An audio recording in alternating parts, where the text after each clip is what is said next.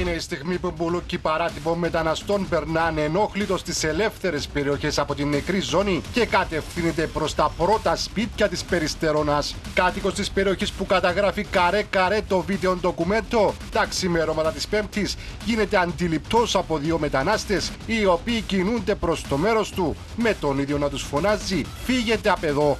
Πήγαν στο πρώτο σπίτι που ήμουν μπροστά τους, ο ιδιοκτήτης της κατοικίας, άκουγε το σκύλο που γάβγιζε δυνατά και έφυγε έξω και όμως ήταν έτσι μπροστά του ξαφνικά 15 άτομα περίπου. Ε, τους είπε να φύγουν. Ανάμεσα τους μία μάνα με τα δύο της παιδιά, όλοι προερχόμενοι από τη Συρία. Τους κατευθύνουν οι διακινητές μέσω της περιστερώνας με στόχο να παραδοθούν στον αστυνομικό σταθμό της κοινότητας. Άρχισε ο κόσμος να φοβάται. Είδαμε στην περιοχή τα κριτικά, τα σπίτια που, που μπαίνουν στη νεκρή ζώνη. Α πούμε, η σύζυγος κάποιου ε, δεν μπορεί θέλει να μείνει μόνη της, φοβάται. Ο φράχτη που τοποθετήθηκε ήδη στην Περιστερώνα δεν αποθαρρύνει τους παράτυπους μετανάστες να περιφέρονται τις μεταμεσονύχτιες ώρες στους δρόμους της κοινότητας, αναζητώντας τρόπους για να καταλήξουν στο Πουρναρά. Ο ημιτελής φράχτη που τοποθετήθηκε πριν από ένα χρόνο μεταξύ σπιτιών και ανοιχτών διόδων δεν απέτρεψε τις μεταναστευτικές ροές. Ενώ το μόνο που θα επιτύχει η τοποθέτηση καγκελόπορτας, όπως λένε οι κάτοικοι, είναι η διέλευση των μεταναστών